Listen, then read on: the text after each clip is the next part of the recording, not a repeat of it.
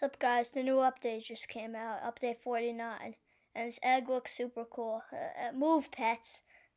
Alright, the egg looks super cool. It's rotating. I don't think that's ever happened before with an egg, so that's pretty cool. And there's this traveling merchant over here, and it sells like uh, the bra pet in there is really cool, and it sells like um the XP potions luck and and this new Midas pet would look like a golden serpent. And there's new items every Friday and Saturday, which is pretty cool.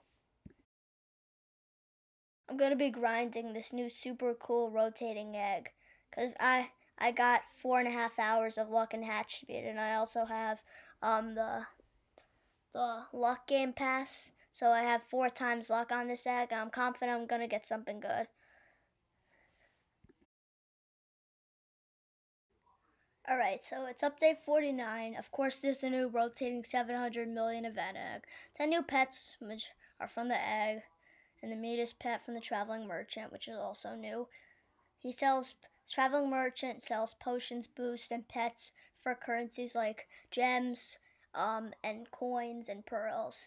And VIP people get 30% time reduction. And, uh, and there's now more exchange at the Gem Genie.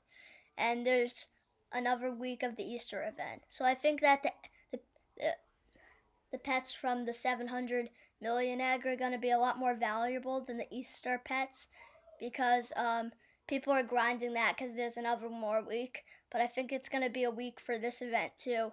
So there's going to be more people doing the Easter event and and there's going to be less pets of the the 700 mil egg.